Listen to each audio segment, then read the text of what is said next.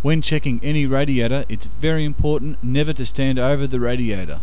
Notice the water level seems fine one moment, and the next moment it may rush out at any time, and cause severe burns to the eyes or skin.